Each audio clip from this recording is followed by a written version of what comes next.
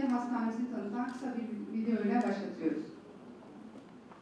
üzere Acil ve Travmatoloji Hastanesi, Onkoloji Hastanesi, çocuk ise başarılı yapılmaktadır. Yeni başlamasına rağmen 400 aşılama işlemi neticesinde 135 Onun için de tüp bebek merkezlerine e, ihtiyacı da artıyor insanın. Bizim de günlük çok sayıda vatandaşımızdan bu ve benzeri talepler alıyoruz.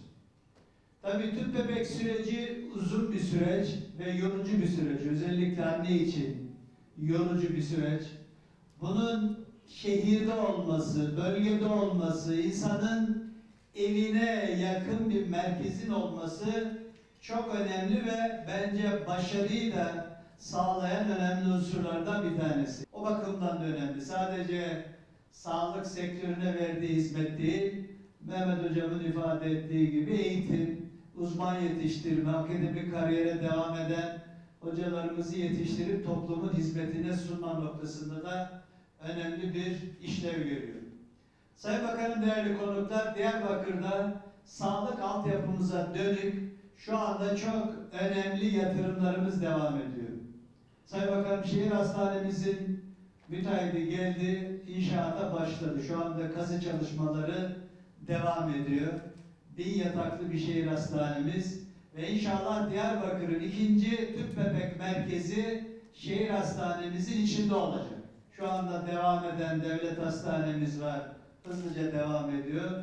Yakın bir zamanda zaten elinizle beraber temelini attığımız Ergani Ağız Diş Sağlığı Hastanemiz devam ediyor.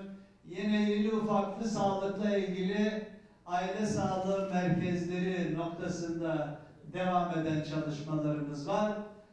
Diyarbakır sağlığın altyapısı açısından her geçen gün daha iyiye doğru inşallah gidiyor, gitmeye de devam edecek.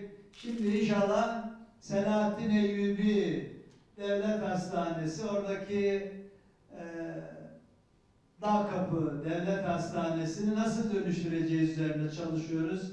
Belki yakın bir zamanda sizlerle bir istişare toplantısı yapıp orayı nasıl dönüştüreceğiz?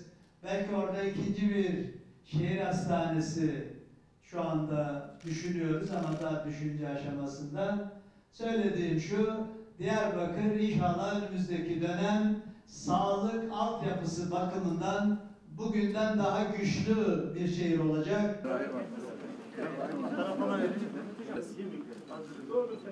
Evet. Tüp bebek merkezimiz hayırlı uğurlu olsun. Bismillahirrahmanirrahim.